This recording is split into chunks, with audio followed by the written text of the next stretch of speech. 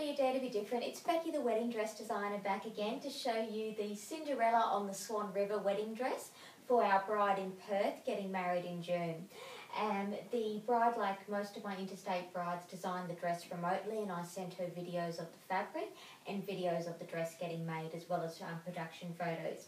So the dress is based on a Lazaro design that um, the Lazaro dresses sell for 20 grand, and the bride couldn't afford that. So she came to me and she said, I like this sparkly princess skirt, and I want a different bodice. So we've designed a low V neck bodice, and we've also made it with using my very own silk from my very own silkworms. So underneath that is a white silk from my own 1400 silkworms, two types of the sparkly princess fabric, I hope you can see the shimmers there, and then with the maximum sparkle over the top to create literally Cinderella Aussie style on the Swan River in Perth.